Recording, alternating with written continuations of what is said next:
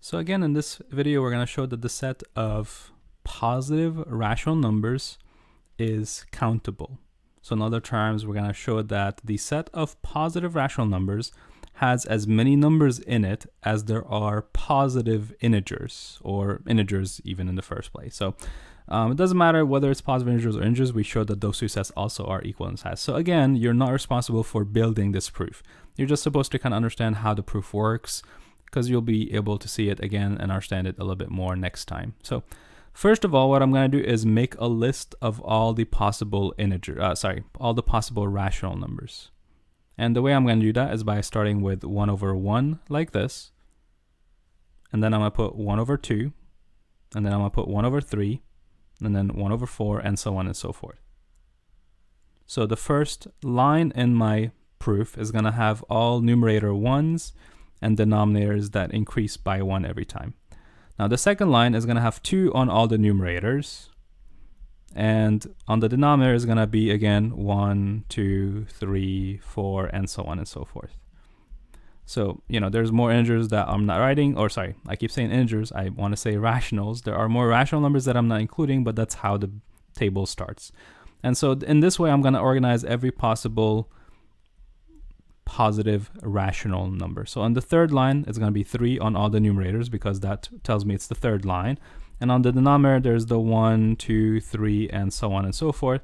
That tells me the position that I'm in in that line. So let's do 4 over 1, 4 over 2, and so on. So keep in mind what our goal is. Our goal is to basically count every number in this list basically once. And keep in mind that this list actually extends down forever, right?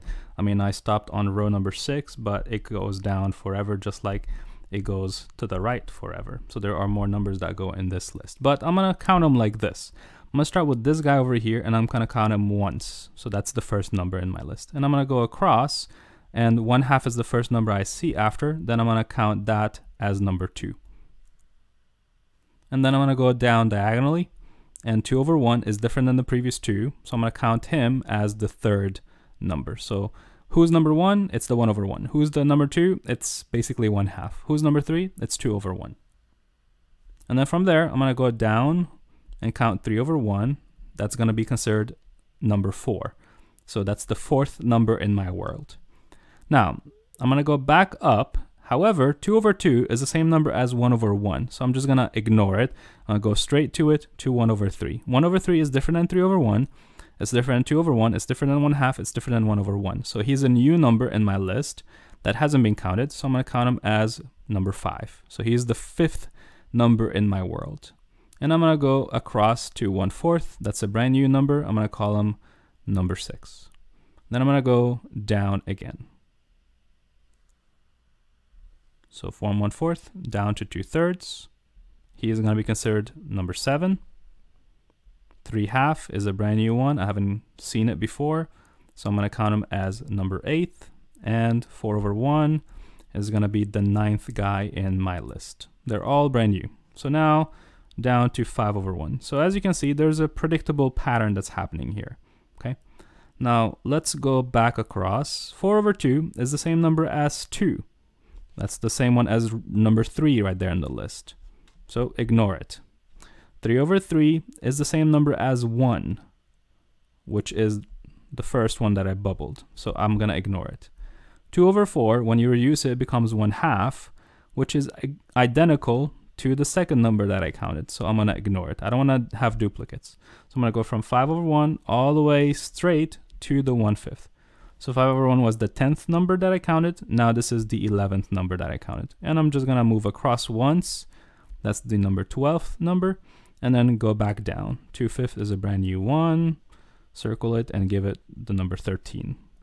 And 3 over 4 is a brand new one that I haven't seen before, so I'm gonna call them number 14. And then again, this is the number 15. Um, this is 5 over 2, it's brand new, I haven't seen it before, so it's number 16. And so on and so forth. So this is the 17th integer or the 17th um, number that I counted, and then I go across, down, and then come back up and so on. So this is what the proof is going to look like basically. So what is my function doing? My function is basically seeing an a positive rational number, so like the 1 over 1 or the 1 over 2 or the 1 over 3 or the 2 over 3, and it's assigning a value to them that is a positive integer. And it's doing that for every possible rational number that is positive. Now, even the 2 over 2, you would think like I skipped it, but really 2 over 2 was 1 over 1. So it got counted. Don't worry about it. It's a duplicate of 1 that I already have, so it gets counted. It's assigned the same number as before. It's the number 1. Same thing with the 3 over 3. It's assigned number 1.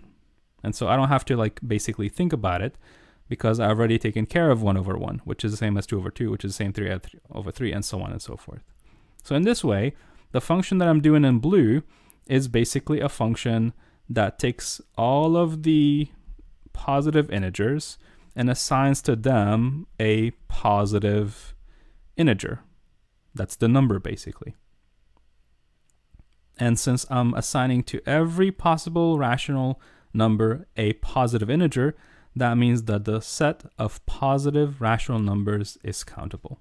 So this shows that the set of possible um, positive rational numbers is countable. Again, it's not a, exactly um, a full formal proof. We're not giving you the name of the function f of x. I'm not telling you how it's doing the way in the way it's count. I'm just kind of describing the count to you, and I'm telling you here's the recipe. And if you want to keep further, going further, you could just extend the table a little bit more and just keep going from there. But that's the gist of things.